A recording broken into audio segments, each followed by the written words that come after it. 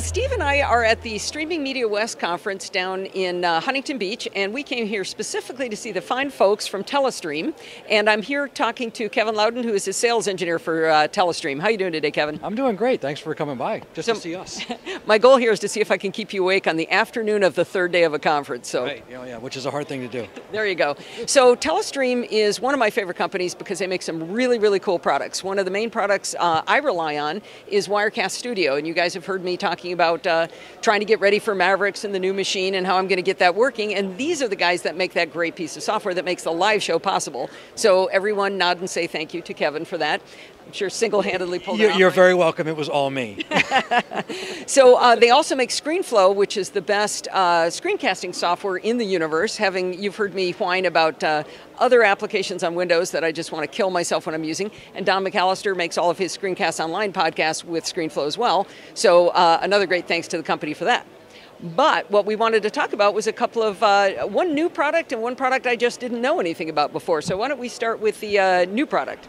The new product, yeah, okay. So the new product is a it's a player called Switch, um, and it's a it's a, a, media player for Mac OS 10, um, and it's a multi-format player. So like you have QuickTime Player on your machine, or you may have VLC on your machine to play things that QuickTime can't play, or you may have uh, uh, media info on your machine to find out some information about what is this file and what can I do with it, how come it won't play, or something like that.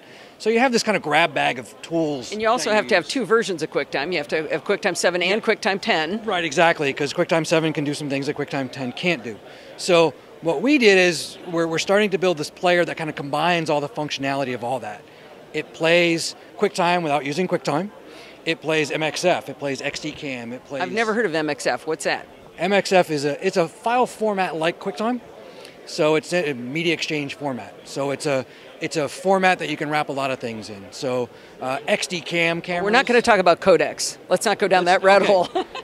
we'll, tr- we'll try and do this without talking about codecs. So anyway, it can play a lot of things that lots of different players, you need a lot of different players to play this and this and this and this.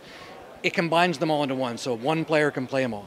One player will inspect them and give you all the information you want. And one player will allow you to change it or edit it and then export it to something else. Oh, really nice. Yeah. So editor as well. Right. You, can, um, you can change the frame size, you can change the frame rate, change the format, the codec.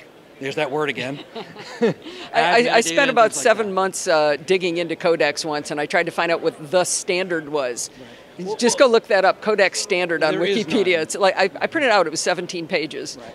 Well, uh, Telestream is a company that's been making a living off of different formats and different codecs. That's what we do we bridge platforms. This thing uses this format and this codec. I need to get it over here for this codec and this format. That's what we do. And you guys are completely cross-platform and everything, right? Exactly. Windows and Mac, you do it all. Some things are just Windows, some things are just Mac, some things are both. Most of the desktop products that you use are both. ScreenFlow is Mac only. Oh, it is. Okay. Well, Wirecast will go both ways. Okay. Yeah, right. and some of the other ones will. Uh, so, so that's what we do. You know, do video we, codecs. We, yeah, we, we do transcoding of codecs. Okay, so you so, understand it so we don't have to? Right, so our player, exactly. So our player is built on this technology that we've been building for 15 years. Right. So this is called Switch, it's you called said? Switch. Right. Now, I, I believe this is a teaser, though. We can't have it yet? You can't have it yet. It will be out soon, let's say. Soon. I was um, accusing one thing Telestream doesn't do is promise a date and miss it. But they don't also promise you a date. They love the word soon. If you want to know when it's going to come out, you can go to our website, uh, www.telestream.net slash switch, and you can sign up for the beta. Oh, I'll so, definitely do that. So you'll get email notifications and things like that as we get close.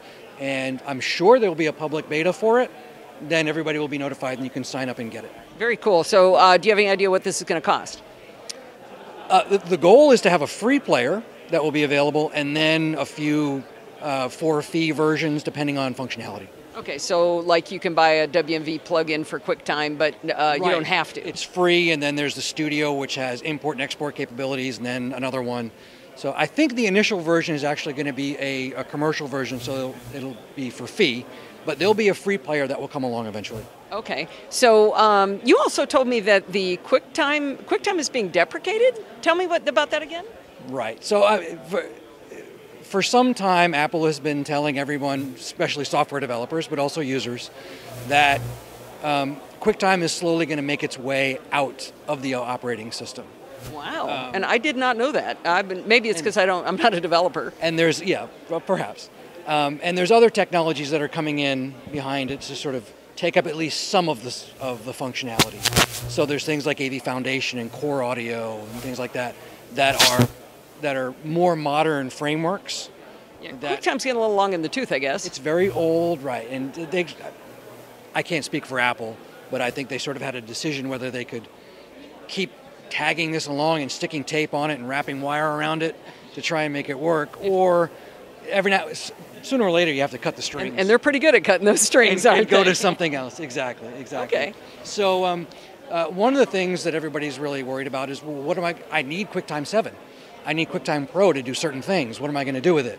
Uh, that's where know, Switch comes in. That's one of the ways that Switch comes in. Exactly right. So All right. it's, well, it's we'll, there to bridge that gap and, and, and have that functionality definitely looking forward to that. Now, I want to make sure we leave a little bit of time because um, you have a product, and now I've forgotten the name of it. Uh, episode. No, switch episode. Tell right. us about episode. Right. So episode is uh, it's a multi-format transcoder.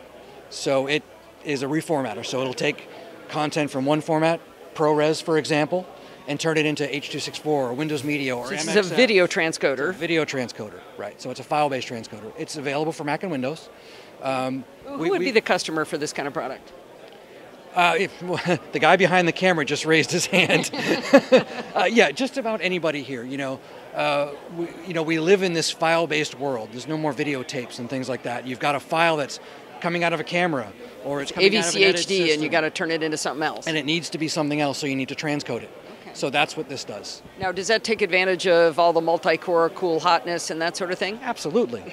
yeah, it's a it's a you know it's a desktop application that's also scalable. So you can actually scale it into a large sort of rendering cluster. Okay. You can gang a bunch of machines together. Oh, and neat, if you need to do high volume, uh, like well, we have a uh, you know a UFC, Ultimate Fighting Championship. Those those guys they get in the ring and they beat each other up. Um, they have a huge cluster of this software. And it and it you know it transcodes 18 cameras at four hours for one of their live events. All right, so when Steve when Steve starts doing his 4K on uh, you know 12 uh, uh, GoPros, that's when he's really going to need that capability, yeah, right? Yeah, sure. So uh, how much does uh, uh, I keep forgetting the name of the product? Episode. Epi- it's just to make yeah. you say it again. How much is episode? There's actually three different versions. There's like a $500 version, mm-hmm. and then a thousand dollar version, which can do some more pro formats.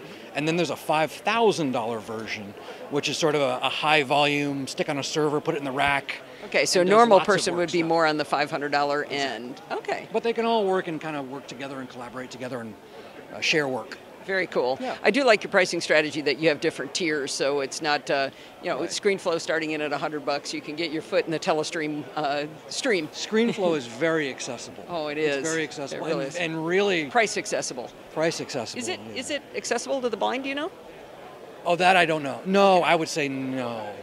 I haven't ever checked. I always I have to. know. The word accessible is pretty important to us. Uh, so. I, I, what I meant was price accessible, but I think it's very accessible in the fact that it's got a very short learning curve. Yeah, yeah, I you can be moderately intuitive. capable with it easily, but Right. you watch Don's uh, Don McAllister screencast online. You can learn how to use it well. Well, I really thank you for your time, Kevin. This has been really enjoyable. And again, the company name is Telestream, over at. telestream.net. All right, thank you. This just in, we found out that Telestream has run the Reader's Choice Awards 2013 Streaming Media Magazine winner for a webcast presentation solution on premises. Congratulations. Thank you very much. we couldn't be more proud.